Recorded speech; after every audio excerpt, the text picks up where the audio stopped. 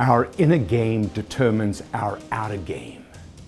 Hi, this is Mike Lipkin, and welcome to this breakthrough moment.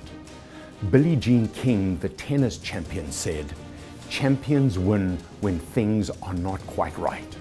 Imperfect external circumstances call forth extraordinary internal qualities to produce remarkable results. In other words, our inner game determines our outer game. Of course, it's easier to win when the stars align, but the great ones unleash their brilliance in the face of crisis, confusion, or chaos. Paul Romer, a Stanford economist, said, A crisis is a terrible thing to waste. Tension and difficulty are portals to maximum opportunity. That's when others run for cover. They play defense. They seek the safety of security that has become illusory. Now is not the time to withdraw or pull back.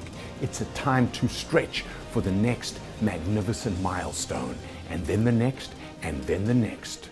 When you stretch, you expand your mind or your body to its full length. You play big and you stand tall.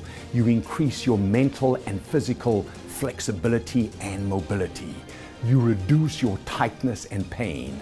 A mind that is stretched is one that keeps on growing. This is Mike Lipkin.